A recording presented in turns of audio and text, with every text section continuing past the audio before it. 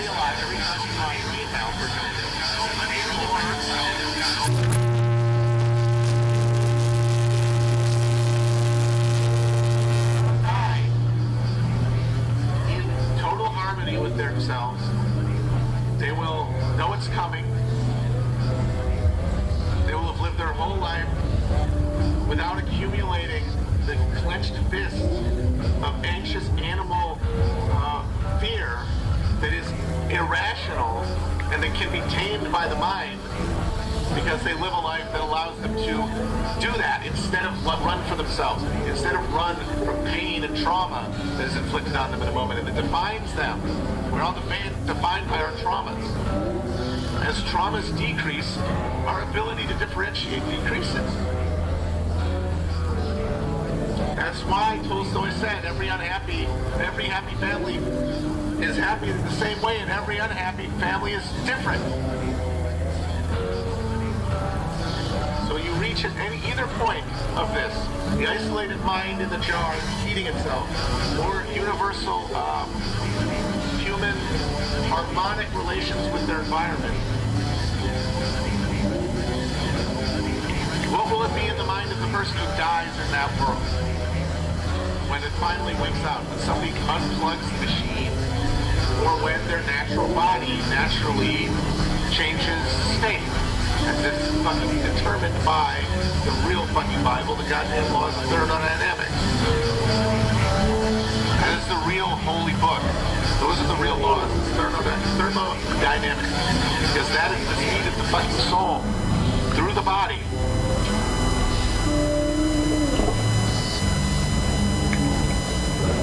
It's ego death eventually. It is eventually the point where all distinction ceases to matter. It is reunion probably if it's if you're alive if you're around for it it is probably felt one way or another like a rising up of orchestral lights like a a, a light turning on rather than the existential fear of the black enclosure. Because the, the difference between white and black is that white is all colors and black is no colors. So like we don't really fear hell the idea of being poked in the ass by the devil. We don't really fear that. Most of us. What we fear is the Sopranos ending. Now, of course, it's irrational to fear the Sopranos ending for a very obvious reason.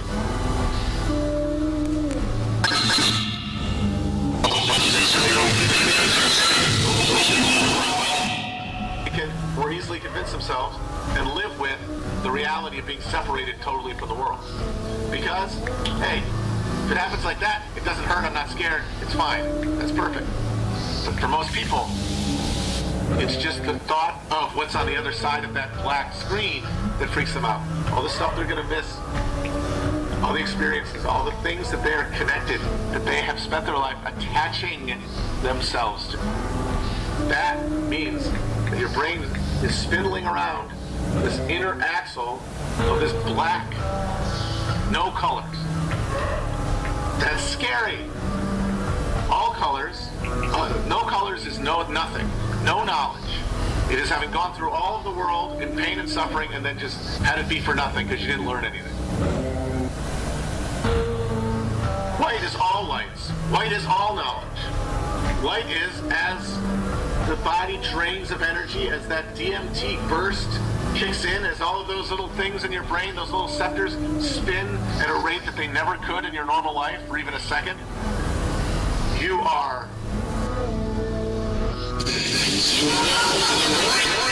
the less pain and fear can really hold you. The less you can be afraid. This is my Yoda the truth. This is really, really difficult part of with those parents. Not, not true shit, but all.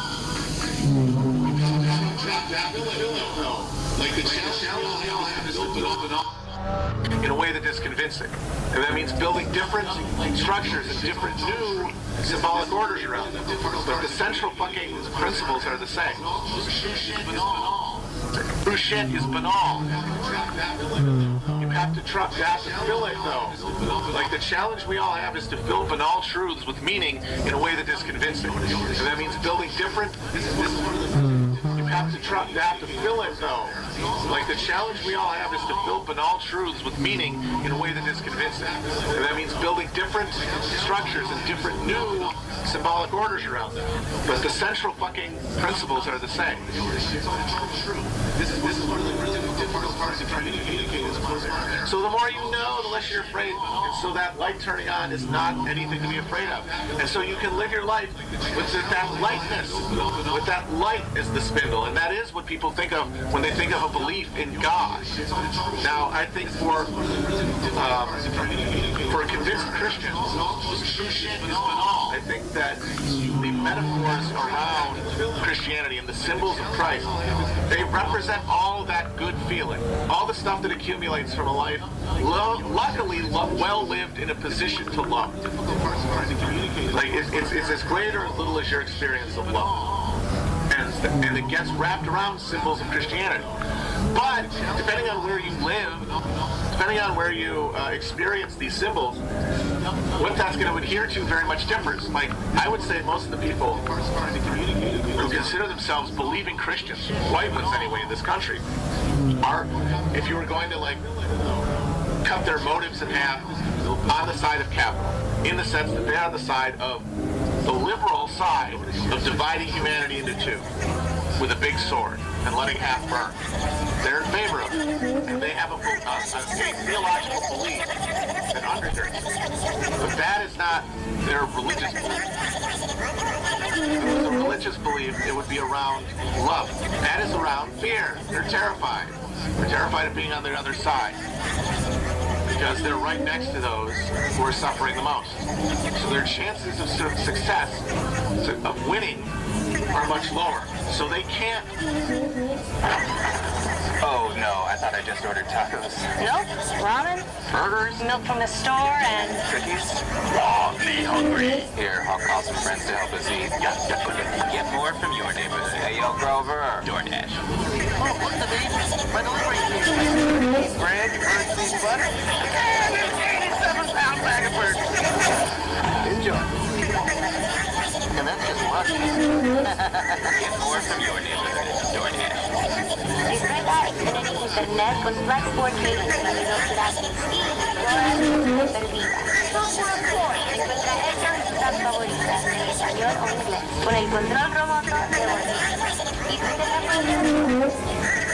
Introducing the all-new Ford Maverick, a truck who didn't know they needed a truck. Starts at less than 20 grand from MSRP. Ford Maverick.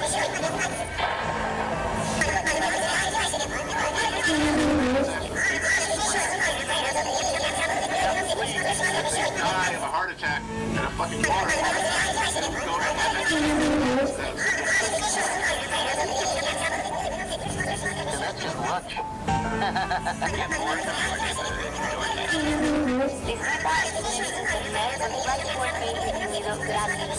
Dora y la ciudad perdida. Encuentra estos y tus apps favoritas en español o inglés con el control remoto de Bolivia. ¿Qué puede hacer esto?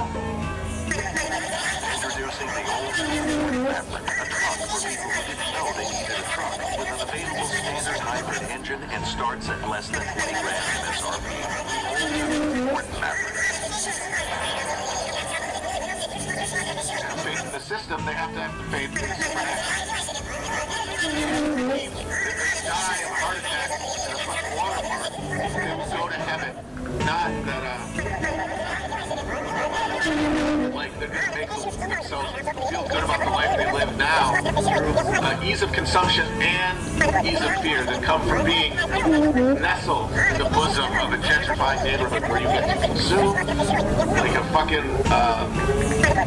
aristocrat, but without any of the guilt of it. Where you get to live the life of, a, of, someone uh, in, in London at the height of the, uh, of the British Empire. Someone enjoying a, uh, a tea on the veranda of a fucking slave plantation.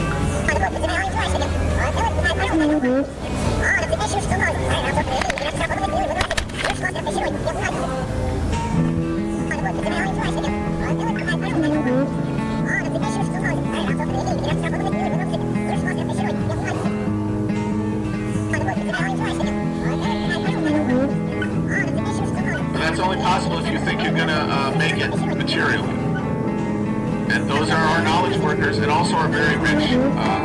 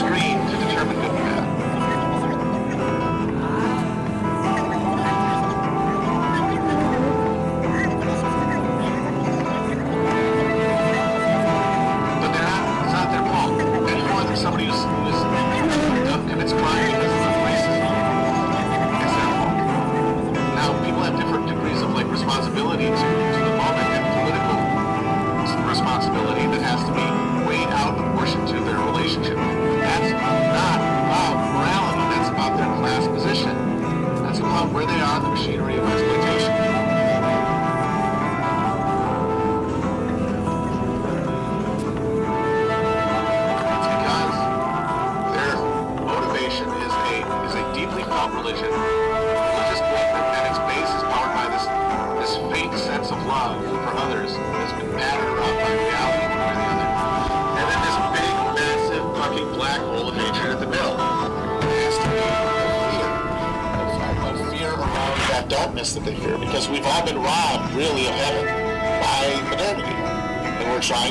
accommodate that.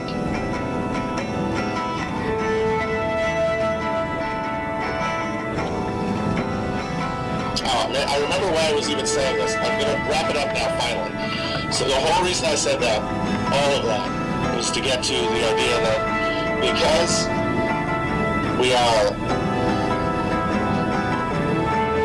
trapped in a cultural uh, conversation dominated by two ends of this liberal spectrum, because these are the people who consume politics and make it now make it both in the people who do fun film and television, but then the vastly larger number of people who make up the social media conversation. They're all liberals of one stripe or another, right wing or left. They are liberals. Want to divide us in half and kill one half. They want to do it by uh, television, but then the vastly larger number of people who make up the social media conversation. They are all liberals of one stripe or another, right wing or left. They are liberals. They want to they want to do it by uh, by uh, the will of God or, or of the will of man. Meritoc- meritocracy or genealogy. That's the fight. And that's the fight they're having on media. That's the fight we're all consuming. And because of that,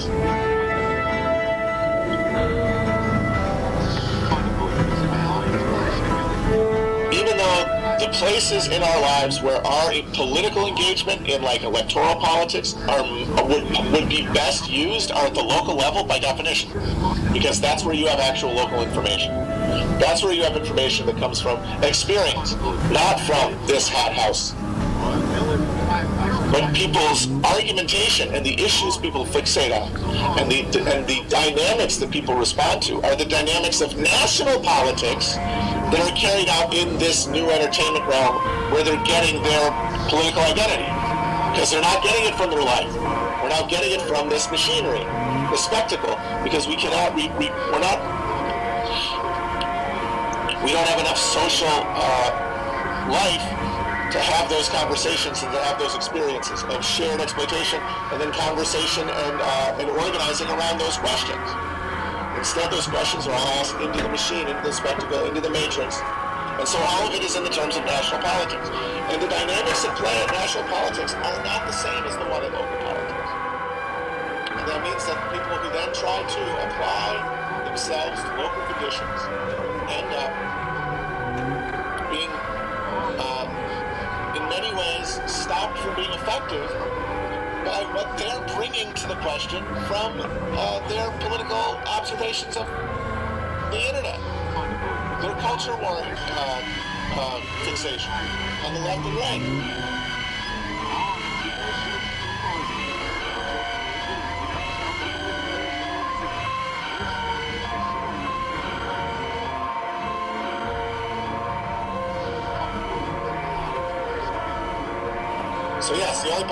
Politics politics of resentment because if, if no one's, because the promise of socialism is everybody uh, flourishes. Everybody, as uh, as Al Slovik said in Caddyshack, everybody gets laid. Either everything is play, or as Judge Holden said, everything is war. Those are the, the two sides the same social end through the looking glass. One is, uh, post-scarcity, democratically uh, uh, distributed. The other is uh, scarcity, violently uh, disputed. Those are the two things that you're, uh, you're looking at. That engaged in is being conducted by and for people who either consciously or unconsciously have decided that the answer is war. Even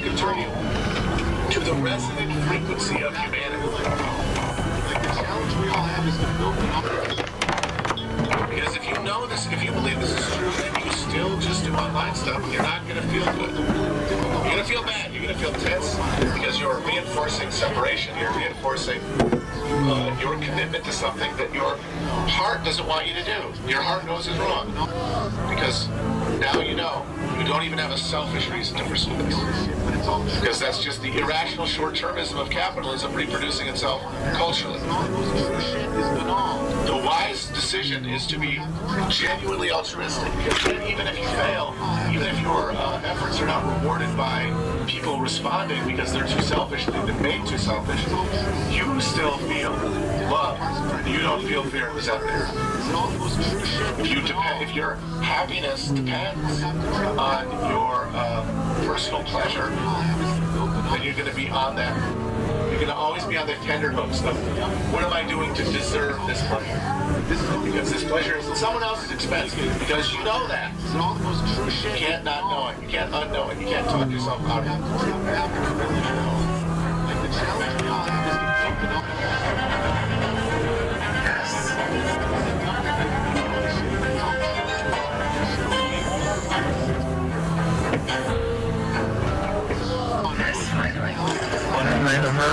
Commercial drop. Honestly, it has more flavor than my grandma's lemonade. That sucks for grandma. No, no. New Bud Light Seltzer Lemonade.